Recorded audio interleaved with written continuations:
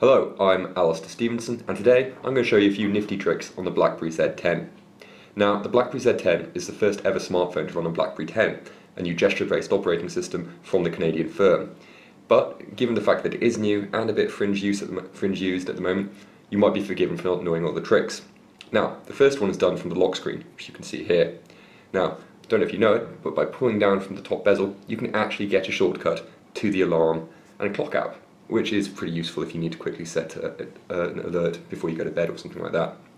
Now, opening it up, another nifty one we're going to show you is how to take a screen grab, something that's always good. Now, this is done by simultaneously pressing both volume keys, which are located here and here, which when you do it here, hold it for a few seconds and you'll hear the click. Now that'll be stored in the photo album hub, which you can access just by going into the camera app or by using the dedicated shortcut. Now, another one we're going to show you, which links to one of the BlackBerry 10's most interesting services, is how to get straight to the hub from any app or any screen, which is done by pulling up from the bottom bezel and then right, like in this inverted L shape, which brings you straight to the hub and all the different notifications you have there.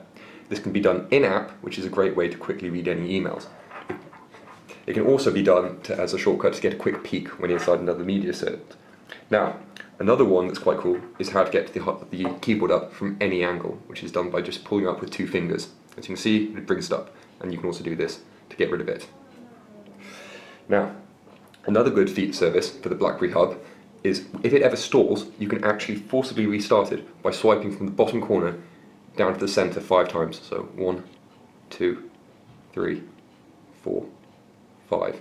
As you can see, it restarts the hub, meaning that if it jams, you can get it forcibly restarted without having to turn off the phone, which is a good thing considering how long it takes to power up. Now, the final trick we're going to show you is how to get voice control working. Getting voice control up is done simply by pressing and holding down on the mute key, which is located between the volume, the two volume controls. Now, when in here, you can do all sorts of things like to tell it to set up an email or get a calendar invite made. Those are the tips and tricks we're sharing today. If you have any others and you'd like to share, put them in the Disqus comments section below. I'm Alastair Stevenson, thanks for watching.